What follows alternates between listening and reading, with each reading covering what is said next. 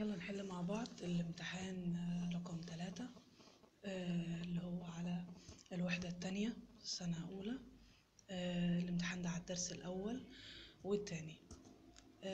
يلا مع بعض السؤال question 1 بيقول لي أنا عايزك تحل لي تجيب لي حق آه، عايز ناتج negative 8 power 2 لو لاحظنا هنا إن أنا عندي طبعا زي ما إحنا خدنا في ال powers أنا عندي ال power هنا عدد زوجي فاذا الناتج من قبل حتى ما أعمل عملية الضرب عارف إن الناتج هيطلع عندي عدد زوجي. ليه عدد زوجي؟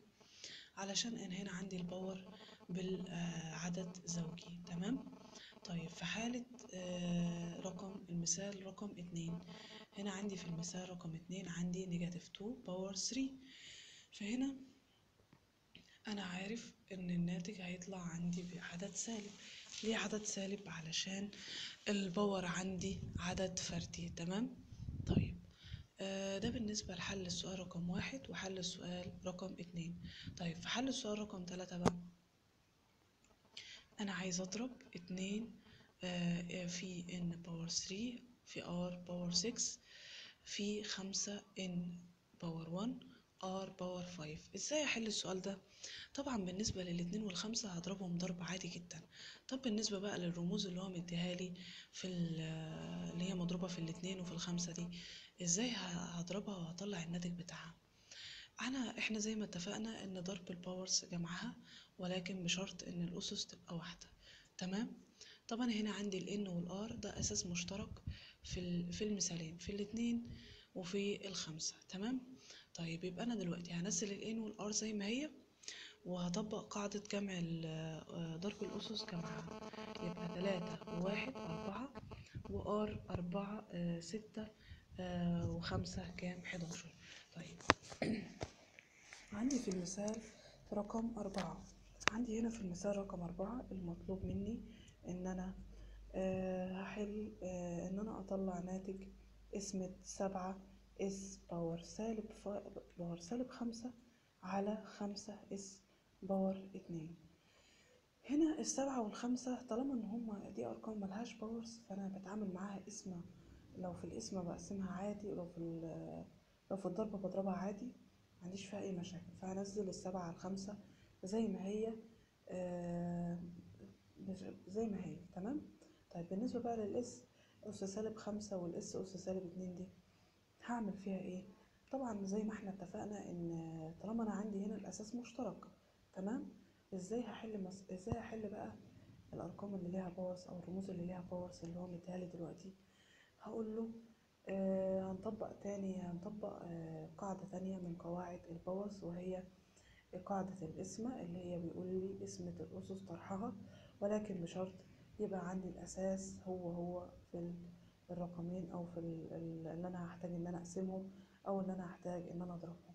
طيب يبقى أنا هنا هطرح سالب خمسة ناقص اتنين اللي هي هتبقى بسالب سبعة. يبقى الناتج في النهاية خالص سبعة على خمسة s power سالب سبعة. تمام؟ طيب عندي بقى في مثال رقم خمسة. المطلوب مني هعمل إيه هنا؟ في مثال رقم خمسة المطلوب إن أنا آه أنا عندي واحد على الستة power five في واحد على الستة power two. طالما إن أنا عندي هنا الأساسات واحدة مش أنا عندي اتفقنا إن ال إن ال powers دي عبارة عن أساس وأس طيب. طيب ال أو ال أو ال index form دي عبارة عن أساس وأس تمام كده. طيب.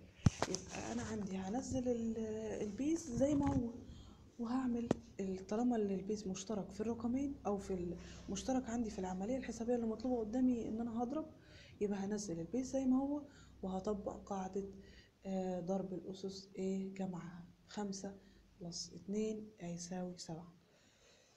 تمام؟ طيب بعد كده بقى هنكمل حل على الأمس... آه، حل على ال- الجذور. عندي هنا ال square root. بيقول لي عايزك تضرب لي ال square root اتنين جذر تلاتة by آه، square root اتناشر. تمام؟ جذر اتناشر. تمام؟ طيب دلوقتي أنا المطلوب مني إن أنا إيه؟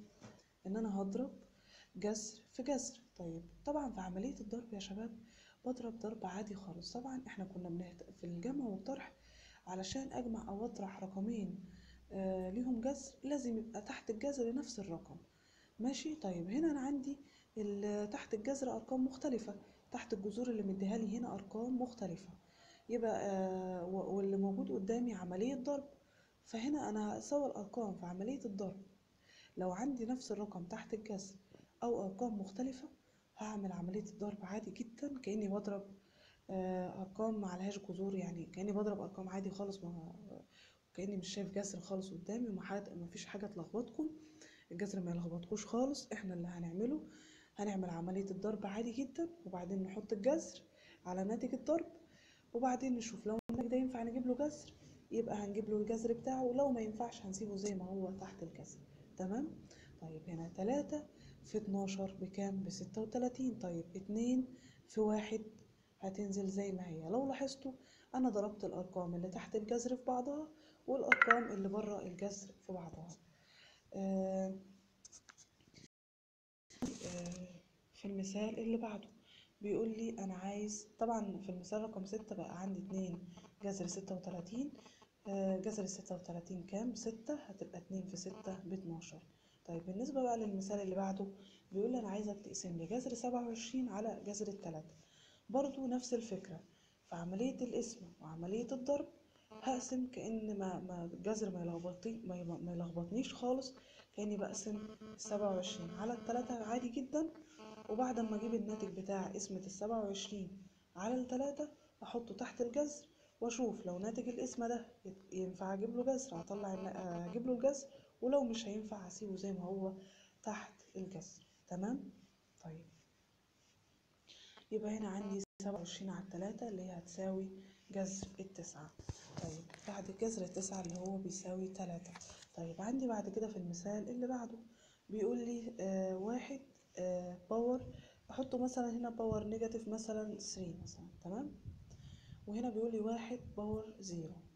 بصوا يا جماعة طالما إن الواحد ده واحد صحيح مش مش سالب واحد أو طالما إن هو مش سالب عموما يعني فأي فالواحد power أي حاجة في الدنيا power عفريت power أي نيلة في الدنيا بيساوي آه واحد زي ما هو تمام؟ عندي هنا أنا حابة آه، بلخبطك برضو تاني فبقول لك واحد power سالب آه power negative 3 by واحد power zero.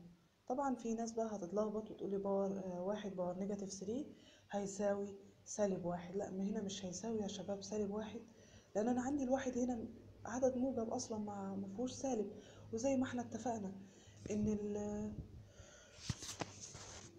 الواحد باور أي رقم بيساوي واحد. تمام؟ طيب يبقى الناتج في النهاية خالص هيساوي واحد.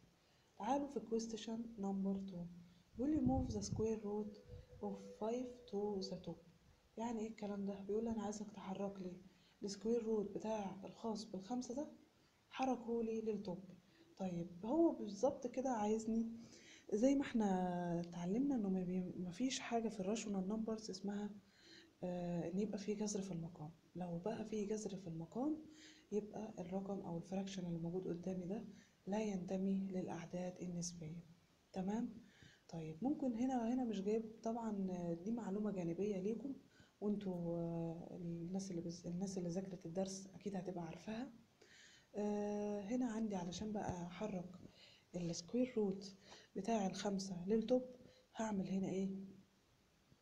هضرب في المرافق. طب إزاي هضرب في المرافق؟ تعالوا كده نشوف هنا حللها إزاي. هضرب في مرافق السبعة ناقص جذر خمسة. تمام؟ طب إيه المرافق؟ إيه هو المرافق بتاع السبعة؟ آه زائد آه ناقص جذر خمسة اللي هو سبعة زائد جذر خمسة. يبقى هضرب واحد على سبعة ناقص جذر خمسة.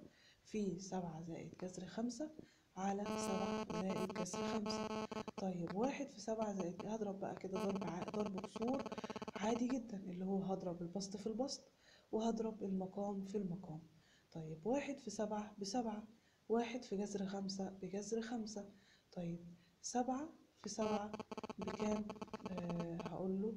ممكن نحلها بالطريقة دي ممكن أطلع الناتج على طول ممكن أقول له 7 باور 2 آه وأحط.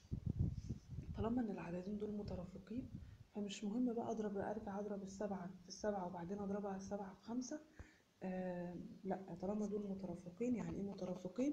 يعني نفس الأعداد مع اختلاف الإشارة اللي في النص. ففي الحالة دي أنا هضرب الأول في الأول ناقص التاني في التاني تربيع لكل الاتنين. الأول في الأول تربيع ناقص التاني في التاني. تمام يا شباب كده؟ يعني سبعة في سبعة اللي هي سبعة power seven power two ناقص جذر خمسة power two اللي هو هيساوي آه في النهاية خالص سبعة زائد خمسة على الأربعة وأربعين. تمام؟ طيب تعالوا في في ال- في السؤال التاني. بيقول لي simplify عايزك تبسط لي جذر الخمسين ناقص الاتنين وتلاتين آه بسط لي الجذرين دول. تمام؟ طبعا. إحنا هنا ما بنشوفش ال simplify. أكتر حاجة طبعا مش بتقابلنا في الجذور إلا في حالة ال- القسمة آه sorry الجمع أو الطرح. تمام؟ طيب هنا عايزني أبسط. يعني إيه؟ يعني عايزني بدل ما أقول له جذر خمسين كده لا عايزني أوصل الجذر ده لأصغر عدد ممكن. يعني أنا لو ينفع أبسط في الخمسين دي آه والاتنين وتلاتين وأحاول أشوف ال- وأحاول أشوف لما أبسطهم الأرقام اللي أنا هتطلع من عملية التحليل للخمسين والاتنين وتلاتين ينفع أجيب ليها جذر أو لأ؟ فهنشوف مع بعض كده في حل المثال. هنا بيقول لي الخمسين لو جينا نحلل الخمسين هلاقي إن الخمسين عبارة عن اتنين في خمسة وعشرين تمام؟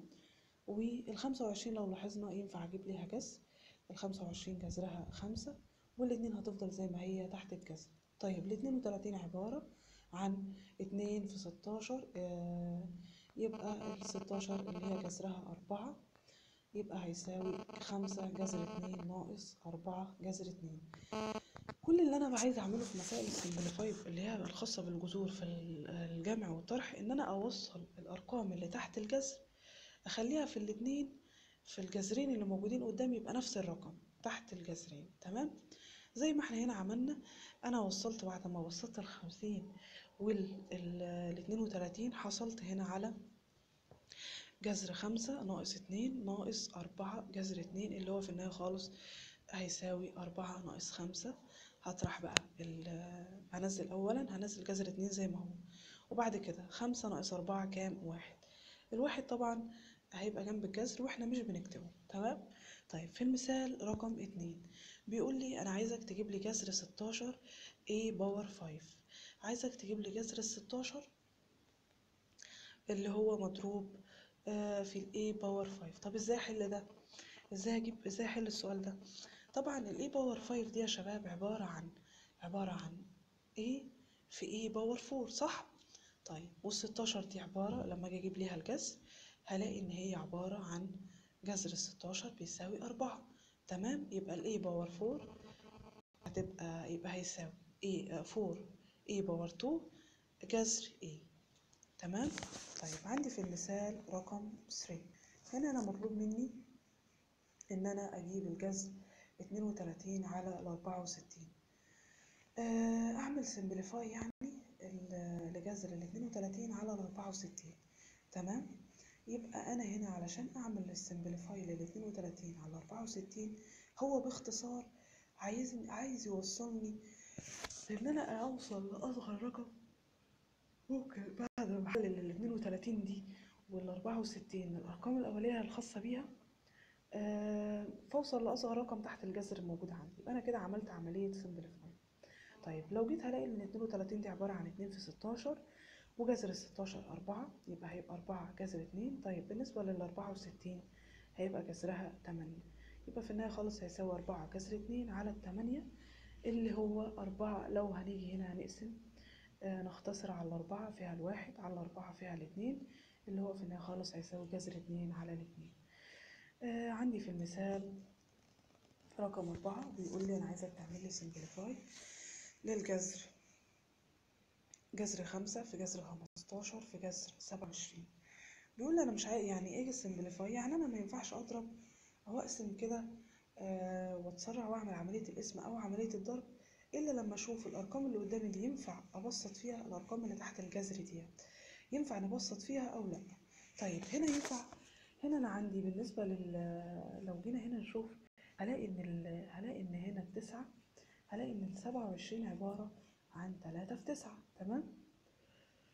طيب. طب يبقى أنا هنا اتبقى يا شباب معايا إيه؟